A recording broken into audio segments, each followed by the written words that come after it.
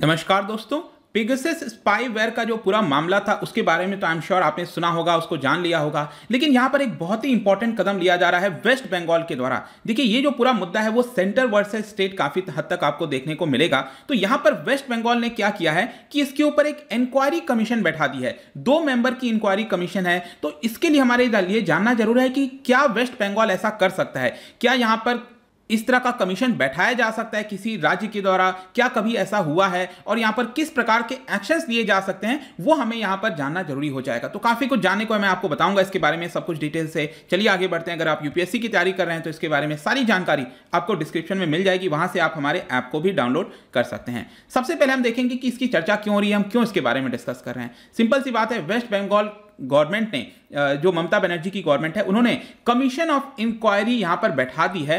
और उसमें यही देखा, बताया जा रहा है कि जो पिगसिस स्पाईवेयर का पूरा मामला था, जिसमें आपने देखा होगा कि इसराइल की कंपनी है एक एनएसओ ग्रुप उनके द्वारा ये पर्टिकुलर सॉफ्टवेयर बनाया गया था। ये बेसिकली क्या करता है कि जो फ़ोन है, उसके अंदर एंटर कर जाता है। और इसमें ऐसा भी नहीं है कि कोई आपको वायरस पर क्लिक करना होगा, कुछ करना होगा, तब ये एंटर करेगा। It is simply just no click जो है इसको कहते हैं। और सिंपली अगर आपको एक मिस्ड कॉल भी दे दिया जाएगा तो भी ये एंटर कर सकता है। और इसके माध्यम से जो भी ये करना चाह रहा है, वो सर्वेलेंस कर सकता है फ़ोन का। आप क्या बातचीत कर रहे हो किस तरह के मैसेजेस भेज रहे हो? तो इस इसको लेकर अभी जो कई सारे रिपोर्ट सामने आए थे आ, कई सारे ग्लोबल मीडिया हाउसेस के द्वारा उसमें बताया गया कि भारत के अंदर बहुत सारे जर्नलिस्ट के ऊपर ऑपोजिशन पार्टी के लीडर्स के ऊपर इवन राहुल गांधी का भी नाम आया था। तो इसमें यहाँ पर पिगसिस स्पाईवेयर का इस्तेमाल किया गया है। इसको लेकर जो ममता बनर्जी हैं, उन्होंने कहा कि हम हम यहाँ पर एक इंक्वायरी बैठाएँगे, जिसमें दो मेंबर का कमीशन होगा। उसमें आप देख सकते हो, एक तो जो फॉर्मर सुप्रीम कोर्ट के जस्टिस हैं मदन बी लोकुर और कलकत्ता हाई कोर्ट के जस्टिस हैं फॉर्मर ज्योतिर्मय भट्टाचार्य। इन दोनों का ये पूरा कमीशन है, जिसको लीड किया जा रहा है। ऑब्वियसली बात है जो सुप्रीम कोर्ट के जस्टिस हैं मदन बी लोकुर, उनके द्वारा। और इनका मेन यही काम होगा कि जो ब्रीच ऑफ़ प्राइवेसी है जो ऑपोजिशन लीडर के ऊपर या फिर जर्नलिस्ट के ऊपर जिस प्रकार से ये सारी चीज़ें की गई हैं आ, उसके अंदर इंक्वायरी करे उसमें देखे कि एग्जैक्टली exactly हुआ क्या था यहाँ पर कौन कर रहा था इसको किस प्रकार से चीज़ें करने की कोशिश की गई उसको लेकर यह इंक्वायरी कहा जा रहा है। लेकिन क्वेश्चन सबसे पहले आपके मन में यह आना चाहिए कि यह प्रोब क्यों आखिर स्टैब्लिश किया गया? मतलब वेस्ट बंगाल गवर्नमेंट इसको लेकर क्या कह रही है? मतलब उनका क्या रीजन है जिसकी वजह से ये कमीशन बैठाया गया है? देखिए, सबसे पहले तो ये बात है कि एक बहुत ही बड़ा मैसिव पॉलिटिकल रो इरप्ट हो गया है। मतलब स्पेशली जो सेंट्रल सेंट्रल गवर्नमेंट में बीजेपी की सरकार है और जो राज्य सरकारों में जो अपोजिशन पार्टीज़ की सरकार है, जैसे कि वेस्ट बंगाल में ममता बनर्जी, दोनों के बीच में आपको पता ही है पिछले काफ़ी समय से कुछ ना कुछ प्रॉब्लम्स देखने को मिल रहा है। तो यहाँ पर उनके पास भी एक मौका मिल गया है कि इस तरह का जो कमीशन है उसको बैठाया जाए और यहाँ पर देखा जाए कि एग्जैक्टली चीज़ें चल क्या रही थी। और आप देख भी पाओगे इस तरह से रैलीज में जो ममता बनर्जी हैं, उन्होंने अपने फ़ोन को भी दिखाया और इस तरह से दिखा रही थी कि देखिए मैंने अपने फ़ोन पर ये टेप लगा दिया है ताकि जो गवर्नमेंट है, वो कैमरे के माध्यम से हम क्या कर रहे हैं, कि क्या बातचीत हो रही है, उसको ना सुन सके जो माइक्रोफोन हो गया और कैमरा हो गया, उसके ऊपर हमने टेप लगा दिया है। और राज्य सरकार का ये कहना है कि हमने ये कमीशन इसलिए बैठाई है बिकॉज़ ऐसा करने से यहाँ पर जो लोगों के अंदर जो पब्लिक ऑर्डर है वो ब्रेक डाउन हो सकता है। जो पुलिस फोर्सेज हैं जो सिक्योरिटी सर्विसेज़ हैं राज्य के अंदर वेस्ट बंगाल के अंदर उनको डिमोरलाइजेशन हो सकता है। इसलिए ये हम इंक्वायरी बैठा रहे हैं। इसके अलावा उनके द्वारा बोला गया है कि जो पब्लिक का कॉन्फिडेंस है पुलिस फोर्स के ऊपर वो यहाँ पर लूज हो, हो सकता है। जो राइट राइट है पब्लिक का स्पेशली जर्नलिस्ट का यहाँ पर उसका उल्लंघन किया गया है। उसको देखते हुए हमने ये कमीशन बैठाया है। और साथ ही साथ जो जुडिशरी है, वहाँ पर भी जो उनका राइट्स हैं कि इम्पार्शल तरीके से वो चीज़ों को जाँच कर सकें, देख सकें, ये सारी चीज़ों को देखते हुए हमने ये जो इंक्वायरी है, उसको बैठाई है।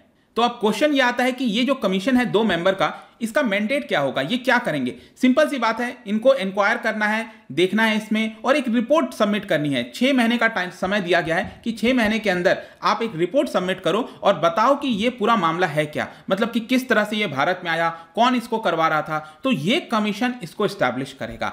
नेक्स्ट क्वेश्चन यह आता है कि ये तो राज्य सरकार के द्वारा किया गया है, इनके पास क्या पावर होती है? ये कमीशन के पास क्या पावर होगी जिसके तहत ये पूरा इंक्वायरी कर पाएँगे? तो मैं आपको बता दूँ कि हमारे देश में ये एक एक्ट लाया गया था, जिसका नाम है the commission of inquiry act 1952 इसके तहत क्या होता है कि जो भी सरकार है, चाहे सेंट्रल गवर्नमेंट है या फिर राज्य सरकार है, वो इस तरह की इंक्वायरी सेटअप कर सकती है। तो ये ये प्रोविज़न है, आपको ध्यान रखना है कि ये कानून के तहत ये पूरा इंक्वायरी बैठाया गया। ऐसा नहीं है कि राज्य सरकार ने सिंपली एक बोल दिया कि इंक्वायरी होना चाहिए तो होगा। ये प्रॉपर एक एक्ट है 1952 का। इसके तहत इस कमीशन के पास पावर मिलती है एज अ सिविल कोड मतलब ये कमीशन जो है, वो कोड ऑफ़ सिविल प्रोसीजर 1908 का इस्तेमाल जब कर रही है तो इनके पास सिविल कोड का पावर होता है इस कमीशन के पास, जिसका वो इस्तेमाल कर सकती है। अब इसमें ये लोग क्या कर सकते हैं कि देश भर में कोई भी पर्सन को समन किया जा सकता है।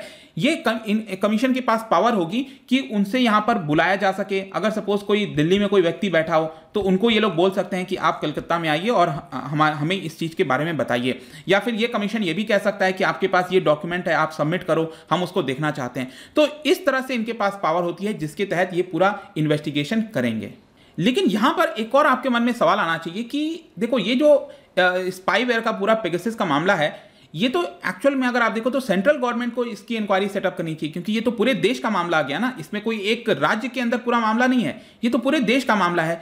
तो मैं आपको बता दूँ कि सेंटर और स्टेट गवर्नमेंट दोनों इस तरह की इंक्वायरी सेटअप कर सकते हैं, लेकिन राज्य सरकार जब ये इंक्वायरी सेटअप करती है तो उनके उनके पास वही पावर होता है जो स्टेट से रिलेटेड सब्जेक्ट हैं। ऐसा नहीं है कि जो यूनियन से रिलेटेड सब्जेक्ट हैं, उनके ऊपर वो लोग इंक्वायरी बैठा सकते हैं। लेकिन एक और चीज़ इसके अंदर ध्यान देने वाला है कि कि सेंट्रल गवर्नमेंट और स्टेट गवर्नमेंट में से सबसे पहले कौन वो इंक्वायरी सेटअप करता है? अगर सपोज़ मैं कहता हूँ फॉर एग्जांपल के तौर पर, अगर ये वाला पिगसिस के ऊपर सेंट्रल गवर्नमेंट पहले सेटअप कर देती ये पूरी इंक्वायरी तो यहाँ पर राज्य सरकार उसके ऊपर इंक्वायरी सेटअप नहीं कर सकती थी। इस, ये जो कानून है ना एक्ट ऑफ़ 1942 52 इसके तहत यहाँ पर सेंट्रल गवर्नमेंट अगर पहले कर दी इंक्वायरी सेटअप तो राज्य सरकार इंक्वायरी सेटअप नहीं कर सकती थी। उसको सेंट्रल गवर्नमेंट से परमिशन लेना पड़ता। और ज़ाहिर सी बात है सेंट्रल गवर्नमेंट परमिशन क्यों देती? नहीं देती।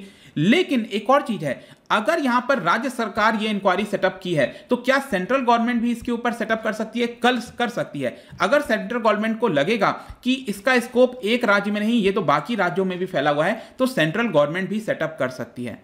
और इसीलिए बोला जा रहा है कि क्योंकि वेस्ट बंगाल ने पहले यहाँ पर सेटअप कर दिया है, इसकी वजह से हो सकता है कि मे भी सेंट्रल गवर्नमेंट भी इस तरह का कुछ इंक्वायरी सेटअप कर दिया। वो तो देखने वाली बात होगी बट आई होप कि ये ये सेटअप कैसे होता है, क्यों होता है तो ये आपको अच्छे से ध्यान में आ गया होगा। अगर हम पहले क्या इस तरह का कोई कमीशन हुआ है तो बिल्कुल मैं आपको एक एग्ज़ाम्पल बताता हूँ। 2002 में आपको याद होगा गुजरात में जो राइट्स वगैरह हुए थे तो उस समय क्या हुआ था, नरेंद्र मोदी की जो सरकार है, जब चीफ मिनिस्टर थे वो तो गुजरात गवर्नमेंट ने एक इंक्वायरी सेटअप की थी कमीशन सेटअप किया था, जिसमें अगेन दो मेंबर थे जीटी नानावती और ए एच मेहता। ये दो मेंबर की कमीशन बेसिकली इसलिए सेटअप किया गया था कि गोधरा ट्रेन जो बर्निंग हुआ था, इसको लेकर यहाँ पर इंक्वायरी बैठ सके। मतलब कि यहाँ पर क्या एग्जैक्टली exactly जो जो पूरा राइट्स स्टार्ट हुआ था, आपको पता है गुजरात के अंदर 2002 में, उसके जस्ट पहले ये वाला इंसिडेंट हुआ था, जो कि एक काफ़ी बड़ा फैक्टर बताया जाता है, गोधरा ट्रेन जो पूरा बोगी बर्न कर दिया गया था। तो ये एग्जैक्टली exactly हुआ क्या था यहाँ पर? सरकार का क्या रोल था? इसको लेकर ये पूरी इंक्वायरी सेटअप की गई थी, जिसमें कमीशन ने आगे चलकर स्टेट गवर्नमेंट को क्लीन चिट दे दिया था। लेकिन आगे क्या होता है कि लालू प्रसाद यादव, उस समय जब रेलवे मिनिस्टर थे अंडर यूपीए गवर्नमेंट 2004 की बात है जब यूपीए सरकार आ गई थी तो उन्होंने भी इसी सब्जेक्ट पर सेम जो गोधरा ट्रेन बर्निंग है, उसी सब्जेक्ट पर यहाँ पर एक और इंक्वायरी बैठा दिया था। और ये कहा गया Banerjee commission under supreme court जज यूसी बनर्जी लेकिन आगे चलकर क्या होता है, गुजरात हाई कोर्ट ने इसको स्क्वैश कर दिया, कहा कि ये इलीगल है। ये बनर्जी कमीशन यहाँ पर नहीं बैठ सकता, क्योंकि दोनों का सेम यहाँ पर पावर वगैरह है। तो इस तरह से अब इंटरप्रिटेशन के ऊपर भी डिपेंड करता है। अगर सपोज़ ये मामला कोर्ट जाता है तो कोर्ट इंटरप्रिट करेगा कि क्या वेस्ट बंगाल इस तरह की इंक्वायरी सेटअप कर सकता है, क्या सेंट्रल गवर्नमेंट इसको चैलेंज करेगी? वो आगे देखने वाली बात है बट अभी प्रेजेंट में क्या है, वही मैं आपको सब कुछ बता रहा हूँ। नेक्स्ट यहाँ पर एक और चीज़ आपके मन में क्वेश्चन आना चाहिए कि ये जो कमीशन है, ये जो अभी इंक्वायरी की गई, जो कमीशन बैठाई गई है वेस्ट बंगाल के द्वारा, इनके पास कौन से चीज़ को लेकर सब्जेक्ट के ऊपर पावर होगा? तो थोड़ा सा और मैं आपको बताना चाहता हूँ। 1952 का जो एक्ट है, उसमें क्लियरली लिखा हुआ है कि सेंट्रल गवर्नमेंट जब कोई इंक्वायरी बैठाती है तो वो तीनों सब्जेक्ट के ऊपर, आपको पता है स्केड्यूल सेवन में तीन सब्जेक्ट हैं that is union list state list और कॉन्करेंट लिस्ट तो यूनियन गवर्नमेंट तो तीनों के ऊपर यहाँ पर सेटअप कर सकती है इंक्वायरी और जो स्टेट गवर्नमेंट है, वो सिर्फ़ कॉन्करेंट लिस्ट और स्टेट लिस्ट के ऊपर इंक्वायरी सेटअप कर सकती है। और जो पिगसिस वाला इंक्वायरी वाला मामला है, उसको राज्य सरकार ने यह कहा है कि ये पब्लिक ऑर्डर और पब्लिक एंट्रीज एंट्री से रिलेटेड मामला है, जो कि स्टेट लिस्ट के अंदर आता है। इसीलिए हमारे पास पावर है कि हम इस तरह की कमीशन सेटअप कर सकते हैं। लेकिन मैं आपको बता दूँ, इसको चैलेंज भी किया जा सकता है। बेसिकली सेंट्रल गवर्नमेंट ये भी कह सकती है कि पेगसिस का पूरा मामला तो कम्युनिकेशन से रिलेटेड है। That is telegraph telephone wireless broadcasting ये सारी चीज़ें अगर आप देखोगे तो ये यूनियन लिस्ट के अंदर आता है। तो मे बी सेंट्रल गवर्नमेंट आगे चलकर इसको चैलेंज भी कर सकता है कि देखिए, ये वाला पूरा जो मामला है पेगसिस स्पाईवेयर का मामला, ये सेंट्रल गवर्नमेंट यूनियन लिस्ट के अंदर आएगा। इसलिए वेस्ट बंगाल के द्वारा ये कमीशन सेटअप करना वो इलीगल भी हो सकता है। मतलब ये जस्ट मैं गेस कर रहा हूँ, क्योंकि इस तरह की चीज़ें सामने एक्सपर्ट्स के द्वारा बताई जा रही हैं। लेकिन लास्ट में जाने से पहले सब कुछ हमने डिस्कस कर लिया। आपके मन में एक और क्वेश्चन आना चाहिए कि ये कमीशन सपोज़ छह महीने के बाद ये रिपोर्ट निकालती है सपोज़ ठीक है? तो इसका वैल्यू क्या होगा? इसका होगा क्या बेसिकली रिपोर्ट का? क्या कुछ इसकी ऐसा कोई बहुत इंपॉर्टेंस है? देखिए, जब भी कोई इस तरह की इंक्वायरी की रिपोर्ट आती है, अगर सपोज़ सेंट्रल गवर्नमेंट के द्वारा किया गया है तो उसको पार्लियामेंट में पेश किया जाता है। अगर राज्य सरकार के द्वारा किया जाता है तो वहाँ की लेजिस्लेटिव असेंबली में किया जाता है। लेकिन बाउंड नहीं है। अगर ये छह महीने के बाद रिपोर्ट आएगी तो राज्य सरकार के ऊपर बाउंडेशन नहीं है कि उसको पब्लिक करे। मतलब पार्लियामेंट के अंदर उसको सॉरी लेजिस्लेटिव असेंबली के अंदर उसको पेश करे। कोई बाउंडेशन नहीं है। सरकार चाहेगी, अब यही होता है। इस तरह की चीज़ों में यही थोड़ा सा प्रॉब्लम हो जाता है कि अगर वो राज्य सरकार के खिलाफ रिपोर्ट जाती है तो वो लोग पब्लिक नहीं करते हैं। अगर उनके फेवर में जाती है तो उसको पब्लिक कर दिया जाता है। ये थोड़ा सा प्रॉब्लम अक्सर आपको देखने को मिलेगा इस तरह के जब भी इंक्वायरी बैठती है। और ये बाइंडिंग भी नहीं है। मतलब ये जो इंक्वायरी है, अगर वो कोई सजेशन देती है, कहती है कि ऐसा ऐसा करना चाहिए तो कोई बाउंडेशन नहीं है सरकार के ऊपर कि वो वैसा ही करेगी। ये एक जस्ट रिपोर्ट है, मानना है तो मानो या फिर इसको छोड़ भी सकते हैं राज्य सरकार। लेकिन हाँ एक इंपॉर्टेंट चीज़ है, कल के डेट में अगर ये सपोज़ पेगसिस वाला पूरा मामला कोर्ट में चला जाता है। तो कोर्ट इसको एज अ एविडेंस के तौर पर देख सकती है। मतलब वहाँ पर दिया जा सकता है रिपोर्ट को कि देखिए इस तरह की इंक्वायरी बैठाई गई थी, उसमें ये ये फाइंडिंग्स सामने निकल कर आई हैं। आई होप कि आपको सब कुछ क्लियर हो गया होगा, ये जो भी कुछ चल रहा है। लेकिन बीजेपी ने इसको लेकर हिट आउट किया है ममता बनर्जी पर और कहा है कि इस तरह की जो इंक्वायरी वगैरह है, वो गलत है पेगसिस के पूरे मामले में। देखिए क्या होता है आगे चलकर। अभी रिसेंटली आपने देखा होगा, कल ममता बनर्जी नरेंद्र मोदी प्राइम मिनिस्टर से मिली भी थी, दिल्ली में वो आई हुई हैं। अभी ऑपोजिशन पार्टी वगैरह से भी मिल रहे हैं। लेट सी क्या होता है बट आई होप कि इस पूरे वीडियो में आपको चीज़ें जानने को मिल गई होंगी। जाने से पहले एक बहुत ही इंटरेस्टिंग क्वेश्चन आपके लिए। क्या आप बता सकते हो कि हमारे संविधान के आधार पर कॉन्स्टिट्यूशन ऑफ़ इंडिया हमारे राज्यों को किस प्रकार की गारंटी देता है? इसमें से जो चार चीज़ें आपको बताना है, कौन सी गारंटी हमारे राज्यों को स्टेट गवर्नमेंट्स को यहाँ पर दी गई है? इसका जो राइट आंसर है, आपको पता ही है, मेरे इंस्टाग्राम पर तो आपको मिलेगा ही। वहाँ पर अगर आप नहीं हो, कोई बात नहीं टेलीग्राम से भी ले सकते हैं इसका सही उत्तर। मैं कई सारे एमसीक्यूज यहाँ पर डालता रहता हूँ स्टोरीज के फॉर्म में आप जाकर प्ले कर सकते हो। बाकी अगर आपको इसका पीडीएफ चाहिए टेलीग्राम पर आइए और अलग अलग सोशल मीडिया पर भी जुड़ सकते हैं। और अगर आप यूपीएससी की तैयारी कर रहे हैं, किसी भी स्टेट एग्ज़ाम की प्रिपरेशन कर रहे हैं डेफिनेटली आप हमारे ऐप को डाउनलोड करिए स्टडी पर जाइए। बहुत ही अफोर्डेबल रेट्स पे सारे कोर्सेज आपको वहाँ पर मिल जाएँगे। आई होप कि वीडियो आपको पसंद आया होगा। मिलता हूँ आपसे next time till then thank you very much see you soon